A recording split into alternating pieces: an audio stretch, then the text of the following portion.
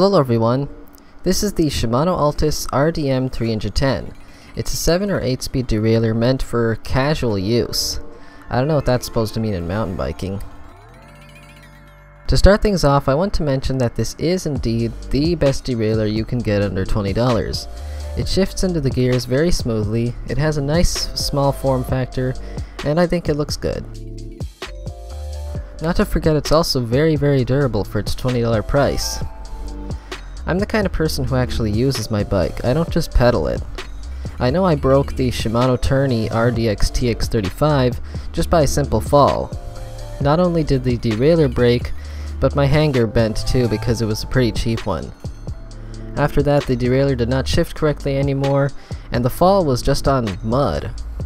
I dropped the RD310 multiple times and it has not broken yet.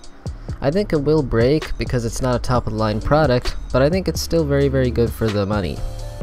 As for the shifting quality, I think it's what you would expect from Shimano. The shifting is very smooth and it's pretty reliable. I've not got this thing perfectly tuned yet because this is only my first time doing that. And when it comes to chain tension, I think that's also pretty good.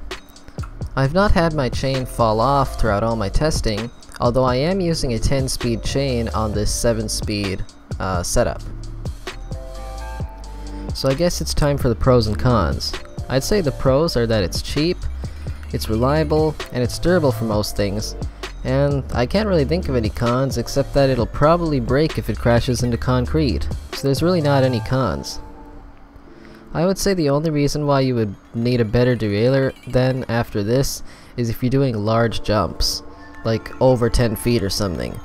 But other than that, I think it's really hard to say this is a bad derailleur at this price point. Overall, if you're going to buy this, you're going to get a nice derailleur that will shift smoothly and reliably, and it'll be pretty durable. And even if it does break, it was only $20. So I hope you found this review helpful, thanks for watching, and please let me know what you think about this video in the comments down below.